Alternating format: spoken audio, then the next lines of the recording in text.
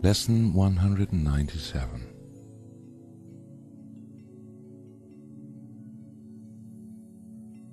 It can be but my gratitude I earn.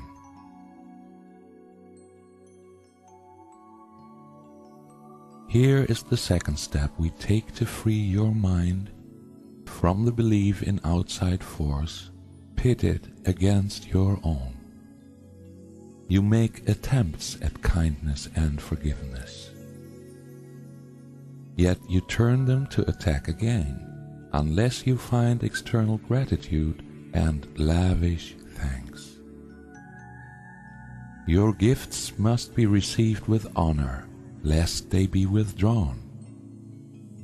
And so you think God's gifts are loans at best, at worst, deceptions which would cheat you of defenses to ensure that when He strikes, He will not fail to kill.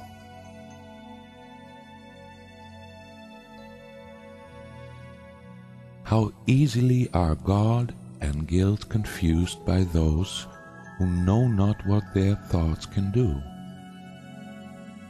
Deny your strength, and weakness must become salvation to you. See yourself as bound, and bars become your home. Nor will you leave the prison house or claim your strength until guilt and salvation are not seen as one and freedom and salvation are perceived as joined, with strength beside them, to be sought and claimed and found and fully recognized.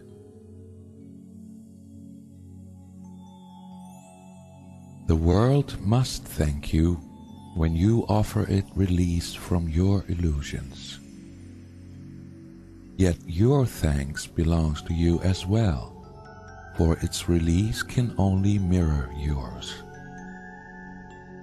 Your gratitude is all your gifts require, that they be a lasting offering of a thankful heart released from hell forever.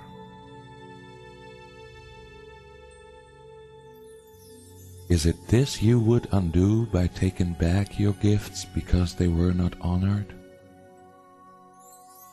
It is you who honor them and give them fitting thanks, for it is you who have received the gifts.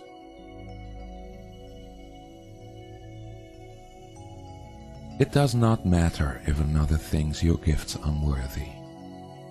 In his mind, there is a part which joins with yours in thanking you.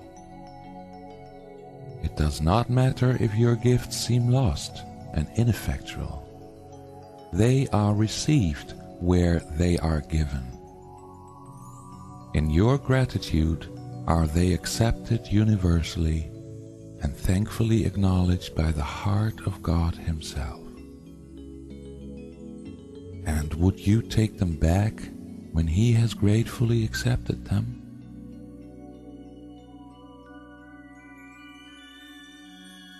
God blesses every gift you give to Him and every gift is given him because it can be given only to yourself. And what belongs to God must be his own. Yet you will never realize his gifts are sure, eternal, changeless, limitless, forever giving out, extending love, and adding to your never-ending joy while you forgive but to attack again. Withdraw the gifts you give, and you will think that what is given you has been withdrawn. But learn to let forgiveness take away the sins you think you see outside yourself. And you can never think the gifts of God are lent but for a little while before he snatches them away again in death. For death will have no meaning for you then.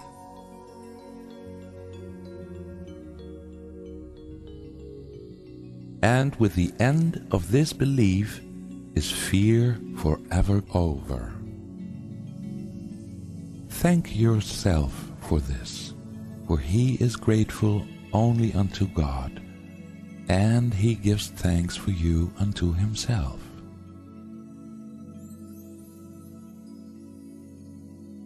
To everyone who lives will Christ yet come, for everyone must live and breathe in him.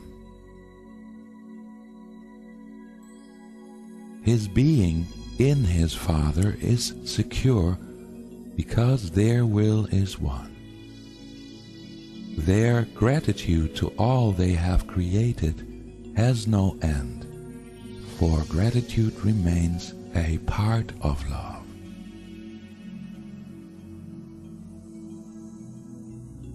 Thanks be to you, the Holy Son of God, for as you were created, you contain all things within yourself.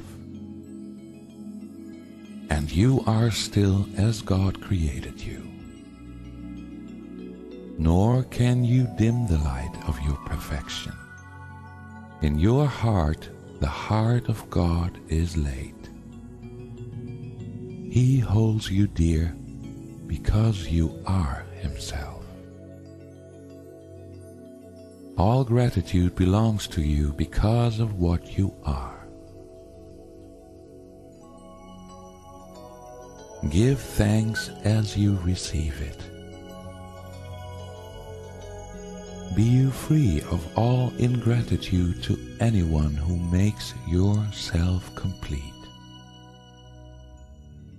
And from this self is no one left outside give thanks for all the countless channels that extend this self. And all you do is given unto Him. All that you think can only be His thoughts, sharing with Him the holy thoughts of God. Earn now the gratitude you have denied yourself when you forgot the function God has given you. But never think that He has ever ceased to offer thanks to you.